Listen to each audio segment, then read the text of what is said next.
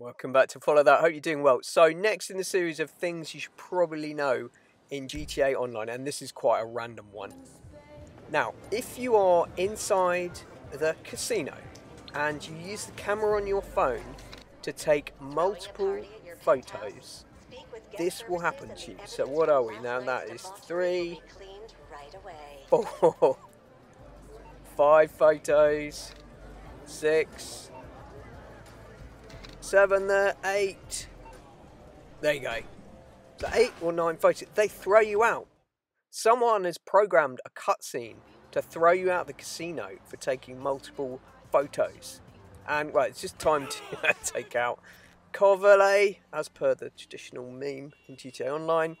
There he goes, and you're back. It doesn't block you from going back in straight away or doing any of the other stuff that you normally get to do in the casino.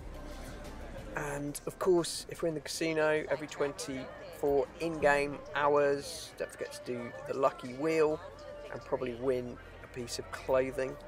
Let's just check and see what we get on this one. I'm in clothing or RP. That's just, there's the car, there's the cash. Clothing. Yippee. And it was the other thing that you should do if you're in here. It's just barely worth it is go and see the cashier and you get your daily visitor bonus. So you get $1,000 for free every time you go in. Then you just have to trade in your chips or spend those chips, do whatever. And then you get that thousand pounds back. Anyway, there you go. More completely useless trivia and things you to try in GTA Online. Alright, take care.